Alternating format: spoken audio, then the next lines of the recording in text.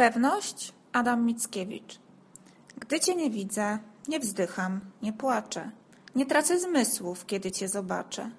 Jednakże, gdy cię długo nie oglądam, czegoś mi braknie, kogoś widzieć żądam. I tęskniąc sobie zadaję pytanie, czy to jest przyjaźń, czy to jest kochanie?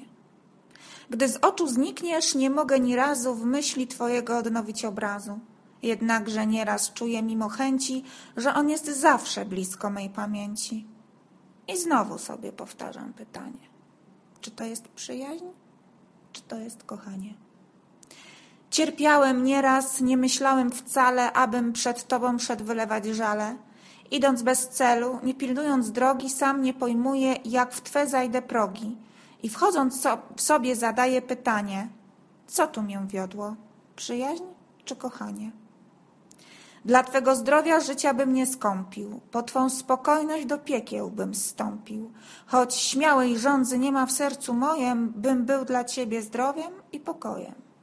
I znowu sobie powtarzam pytanie, czy to jest przyjaźń, czy to jest kochanie? Kiedy położysz rękę na me dłonie, luba mnie jakaś spokojność owionie.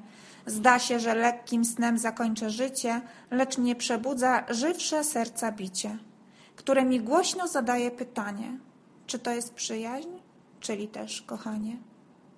Kiedym dla ciebie tę piosenkę składał, wieszczy duch mymi ustami nie władał.